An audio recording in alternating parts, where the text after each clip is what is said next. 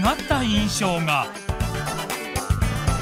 週末フジテレビのカメラは銀座の街を闊歩する沢尻さんを独占キャッチ。だってママ喋るんだもん。それはメディアに？最大のリーク元ママだよ。なるほど。みんな分かってると思うけど、まあ僕たちはまあいろいろな少しでも情報が欲しくて。うん、だからママにもほとんど連絡しなかった。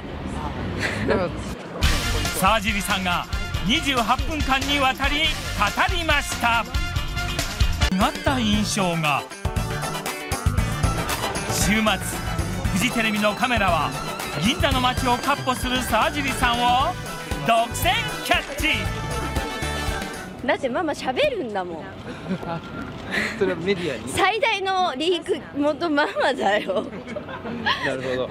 みんな分かってると思うけど、まあでも僕たちはまあい。ろいろな少しでも情報が欲しくて。うん、だからママにもほとんど連絡しなかった。沢尻さんが28分間にわたり語りました